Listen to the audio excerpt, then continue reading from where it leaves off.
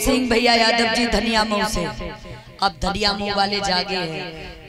ये 101 मुद्राएँ भिजवा रहे हैं मेरे लिए।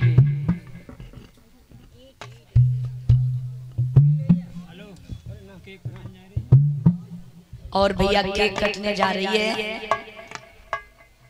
और शांति से रहेंगे।